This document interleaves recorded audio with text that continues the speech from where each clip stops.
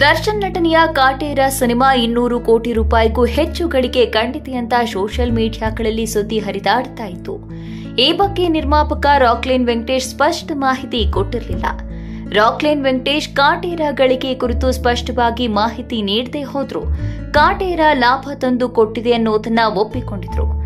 Kaatera success ಮತ್ತು ಅದರ box office collection ಬಗ್ಗೆ ಸುದ್ದಿಗಳು ಹರಿದಾಡ್ತಾ ಇದ್ದ ಹಾಗೆ, ರಾಕ್ಲೈನ್ ವೆಂಕಟೇಶ್ ಅವರಿಗೆ ಆದಾಯ ತೆರಿಗೆ ಇಲಾಖೆಯಿಂದ ನಾಲ್ಕು ನೋಟಿಸ್ಗಳು ಬಂದಿದ್ವಂತೆ. ಇದೀಗ ಕಾಟೇರ ಚಿತ್ರ ಶತದಿನೋತ್ಸವ ಕಂಡ ಬೆನ್ನಲ್ಲೇ ಬರಹಗಾರರಿಗೆ ನಿರ್ಮಾಪಕ ರಾಕ್ಲೈನ್ ವೆಂಕಟೇಶ್ ಭರ್ಜರಿ ಗಿಫ್ಟ್ ಅನ್ನ ನೀಡಿದ್ದಾರೆ.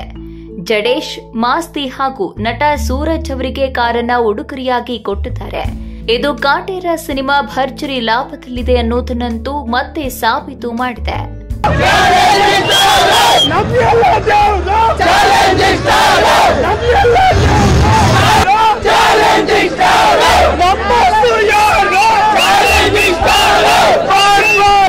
ಬಿಡುಗಡೆಯಾಗಿ ಮೊದಲ ವಾರಕ್ಕೆ ನೂರು ಕೋಟಿ ಗಳಿಸಿದೆ ಎನ್ನುವ ಪೋಸ್ಟರ್ಗಳು ವೈರಲ್ ಆಗಿದ್ವು. ಜೊತೆಗೆ ಕೆಲವು ಪ್ರಮುಖ ಪತ್ರಿಕೆಗಳು ಇದನ್ನೇ ವರದಿ ಮಾಡಿದ್ವು. ನಂತರ ಕಾಟೇರ ಇನ್ನೂರು ಕೋಟಿ ಕ್ಲಬ್ ಕೂಡ ಸೇರಿದೆ ಎನ್ನುವ ಸುದ್ದಿ ಸದ್ದು ಮಾಡಿತು. ಆಗ ಈ ಬಗ್ಗೆ ಪ್ರತಿಕ್ರಿಯೆ ನೀಡಿದ ರಾಕ್ಲೈನ್ ವೆಂಕಟೇಶ್, ನಾನು ಯಾವತ್ತೂ ಚಿತ್ರದ ಬಜೆಟ್ ಮತ್ತು ಗಳಿಕೆ ಬಗ್ಗೆ ಲೆಕ್ಕ ಹಾಕಿದವನಲ್ಲ. ಕಾಟೇರ ಕೂಡ ಹಾಗೆಯೇ ಐವತ್ತು ಕೋಟಿ ರೂಪಾಯಿ ಗಳಿಸಿದೆ, ಇನ್ನೊಂದು ವಾರದಲ್ಲಿ ನೂರು ಕೋಟಿ ದಾಟಲಿದೆ ಎಂದೆಲ್ಲ ಹೇಳುತ್ತಾರೆ. ಎಷ್ಟು ಗಳಿಸಿದೆ ಎಂದು ನಾನು ಲೆಕ್ಕ ಹಾಕಿಲ್ಲ, ನೂರು ಕೋಟಿ ಗಳಿಸಿದ್ರೆ ಸಂತೋಷ. ಆದರೆ ಈಗ ಬರುತ್ತಿರುವ ಸುದ್ದಿಗಳು ನಿಜವಲ್ಲ. ಒಂದಂತೂ ಸತ್ಯ, ಚಿತ್ರ ಚೆನ್ನಾಗಿ ಪ್ರದರ್ಶನ ಕಾಣ್ತಾ ಇದೆ. ದರ್ಶನ್ ಸೆಲೆಬ್ರಿಟಿಗಳು, ಕನ್ನಡ ಚಿತ್ರ ಪ್ರೇಮಿಗಳು ಕಾಟೇರನನ್ನ ಗೆಲ್ಲಿಸಿದ್ದಾರೆ ಎಂದರು.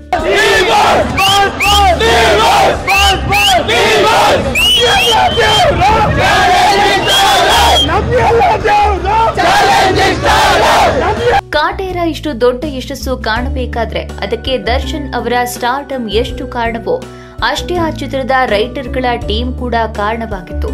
ತರುಣ್ ಸುಧೀರ್ ಜೊತೆಗೆ ಜಡೇಶ್ ಹಂಪಿ ಮತ್ತು ಮಾಸ್ತಿ ಅವರ ಬರವಣಿಗೆ ಈ ಚಿತ್ರಕ್ಕೆ ಶಕ್ತಿಯಾಗಿತ್ತು. ಮಾಸ್ತಿ ಅವರ ಡೈಲಾಗ್ಗಳು ಮಾಸ್ ಮತ್ತು ಕ್ಲಾಸ್ ಆಡಿಯನ್ಸ್ಗಳಿಗೆ ನಾಟಿದ್ದವು. ಕಾಟೇರ ಚಿತ್ರದ ಪಂಚಿಂಗ್ ಸಂಭಾಷಣೆಗಳು ವೈರಲ್ ಆಗಿದ್ವು.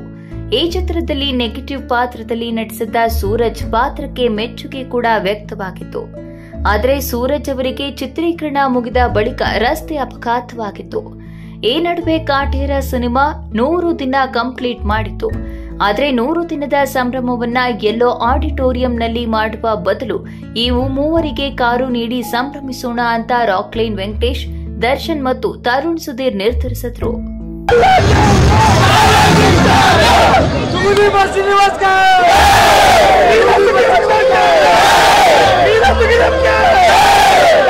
ಕಾಟೇರ ಬರೀ ಕನ್ನಡ ಭಾಷೆಯಲ್ಲಿಯೇ ತೆರೆಕಂಡು ಪ್ಯಾನ್ ಇಂಡಿಯಾ ಮಟ್ಟಕ್ಕೆ ಬಾಕ್ಸ್ ಆಫೀಸ್ನಲ್ಲಿ ದಾಖಲೆಯ ಕಲೆಕ್ಷನ್ ಮಾಡಿದೆ ಎನ್ನಲಾಗಿತ್ತು. ಅದು ಅಲ್ಲದೆ ಬುಕ್ ಮೈ ಶೋನಲ್ಲೂ ಕಾಟೇರ ಹಲವು ಪ್ಯಾನ್ ಇಂಡಿಯಾ ಸಿನಿಮಾಗಳನ್ನ ಹಿಂದಿಕ್ಕಿತು ಬುಕ್ ಮೈ ಶೋ ಓಟ್ಸ್ ಲೆಕ್ಕದಲ್ಲಿ KGF two cinema number one ಸ್ಥಾನದಲ್ಲಿದ್ದು, ಕಾಂತಾರ ಎರಡನೇ ಸ್ಥಾನದಲ್ಲಿದೆ. ಮೂರನೇ ಸ್ಥಾನದಲ್ಲಿ ಜೇಮ್ಸ್ ಮತ್ತು ನಾಲ್ಕನೇ ಸ್ಥಾನದಲ್ಲಿ ವಿಕ್ರಾಂತ್ ರೋಣ ಚಿತ್ರಗಳಿದ್ವು. ಆದರೆ ಇವೆಲ್ಲ ಪ್ಯಾನ್ ಇಂಡಿಯಾ ಸಿನಿಮಾಗಳಾಗಿದ್ವು.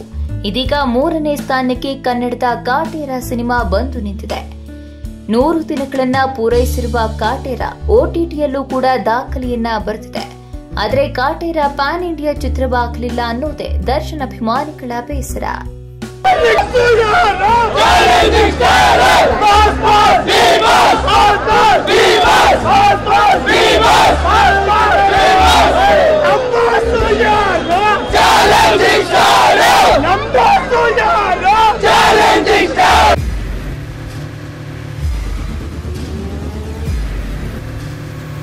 ಪ್ರಜಾಮಾರ್ಗ ನ್ಯೂಸ್. ಇದು ಜನಸಾಮಾನ್ಯರ ಧ್ವನಿ. ಹಾಯ್ ಎಲ್ರಿಗೂ ನಮಸ್ಕಾರ. Prajamarga news channel. ಸಮಾಜದಲ್ಲಿ ನಡೆಯುವಂತ ಒಳ್ಳೇದು ಕೆಟ್ಟದನ್ನ ನಿರ್ಭಯವಾಗಿ ಹೊಸ ಹೊಸ ತರ. ಸಿನಿಮಾದ ಹೆಚ್ಚಿನ ಅಪ್ಡೇಟ್ಸ್ ಸಬ್ಸ್ಕ್ರೈಬ್ ಮಾಡಿ. ಶೇರ್ ಮಾಡಿ ಲೈಕ್ ಮಾಡಿ ಸಪೋರ್ಟ್ ಮಾಡಿ. Thank you